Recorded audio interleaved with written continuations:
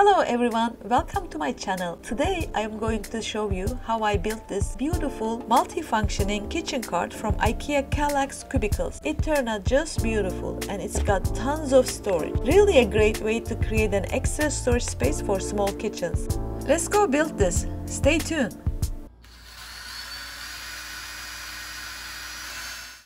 I picked up a 4 cubicle Kallax unit from IKEA and put it together.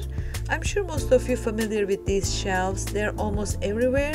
It cost me $36. Here are the wheels I'm going to attach to the bottom of the unit. They are from Amazon and dozen of them were about $12. So I'm going to attach these to the bottom but uh, if you know about Kallax you know that they are hollow inside so I'm hoping to find wood in this corner so we'll see.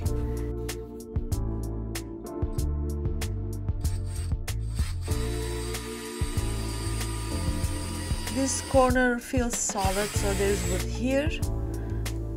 Let's try this one. Nope this is hollow. Let's hope there's wood here. Or particle board to be exact. Yep is something solid here that's a good news. And the fourth one again it's hollow. Since I have only two screws going into the wood I'm going to use a very strong glue. This is Gorilla Glue original. I was gonna use this in any case but now I really need it only with two screws going into the wood.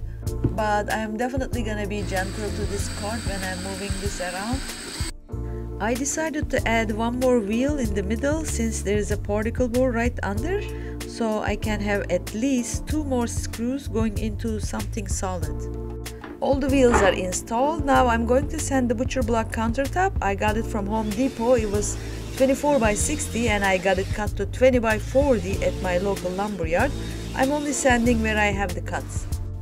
I laid the countertop on the floor. I found that easier since I'm doing this alone. I'm gonna mark where it sits on the base so I can put my glue before I screw them down to each other. I'm applying Gorilla Glue first and then I'm gonna be applying some water since Gorilla Glue is activated with water. This butcher block was $109 at Home Depot. I thought that was reasonable. By the way, please don't forget to hit the like button for me. That helps my channel a lot. I appreciate all the support. Now I'm going to screw the shelves to the butcher block with these wood screws. They're two and a half inches long. First, I'm gonna have to drill the holes with the right size of the drill bit. After drilling, I put my screw down, but I ran into a problem. It didn't go through. I guess I didn't drill it long enough. So I came back with my impact driver. These guys are amazing. They're so strong. So it's good for tough job. As you see, it just went through. So this is my impact driver and this is my drill Mostly I use my drill, but every once in a while, like today, I use my impact driver. Now I got four screws in, also glued the whole thing, so I should be in good shape. Now it's time to work on the shelves and the spice rack. I'm cutting a couple of shelves and I'm going to use the rest of it for as a backing to my spice rack. I found this wood in the garage so I didn't pay anything. I'm going to sand the edges this is not a plywood, it's a nice wood, so I was lucky to find this in the garage. I've got so much stuff in there, sometimes they come handy. I used regular wood glue for the shelves, I glued them together, I clamped them and put some nails with my nail gun. So I'm going to now stain them with Watco Danish oil. It's in dark walnut shade these shelves are too basic, but I'm not a carpenter, so don't judge me for my skills. Now the butcher block. This is not a food safe oil, but there are food safe ones. Use that if you are planning to cut on this. I'm not going to cut directly on this. I will use a cutting board. I just want to keep the surface nice and scratchless. Now it's time to create the spice rack. I'm going to hang this backing board with glue and bolts to the side of the Kallax. and then I'll hang these shelves they're just hanged from a screw no need to glue or nail them. And again they're from Ikea. They were five dollars each.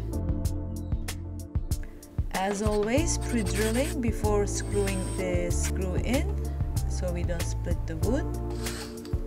It was a little bit too close to the edge. I was worried but it was fine. There was no splitting of the wood First, I'm going to install the top shelf and then measure the spacing for the other shelves. You can just adjust the heights depending on your needs. That's the beauty of DIYing and customizing.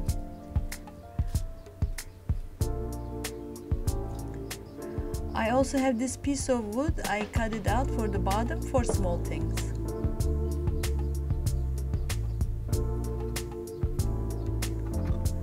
There it is. The rack is ready. Again the same process. Gorilla glue first. Clamping it next. But this time I'm going to use bolts and nuts instead of screws because in the middle of Kallax there's no wood. It's totally empty. That's why I need bolts I drilled the hole all the way and used two and a half inches long number 10 bolts and nuts and washers. So I'm gonna have all the materials in the description below for you. Let me lift it up carefully. It became heavy now and I want to be gentle on the wheels.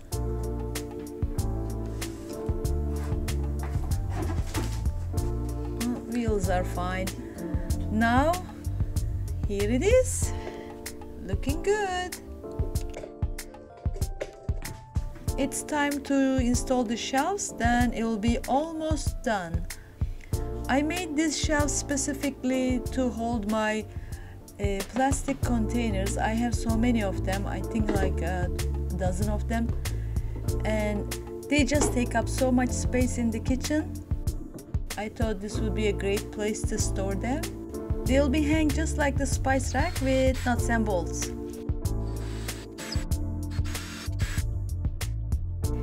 In case your eyes are very sharp and notice nothing is leveled here, as such, that's because I'm in my sunroom where it used to be a porch, so the floor is sloping, that's why. Otherwise, the cart is perfectly leveled. One shelf can take up to four containers, so that's pretty good.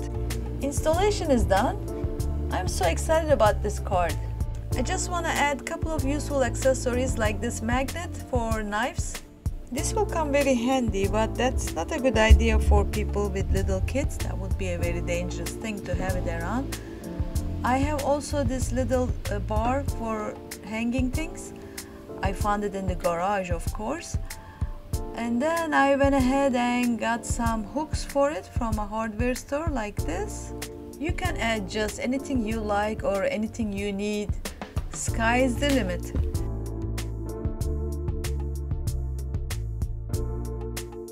I'm gonna add these hooks from Ikea to hang my utensils and also this crate again from Ikea.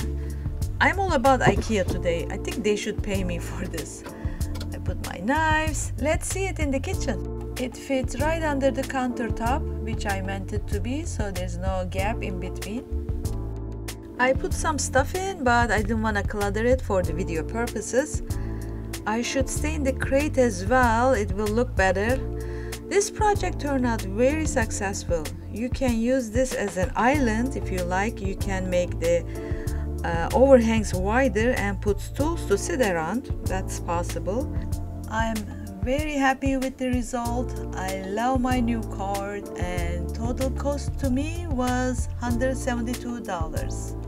Thank you for visiting my channel and I will see you in the next video. Bye!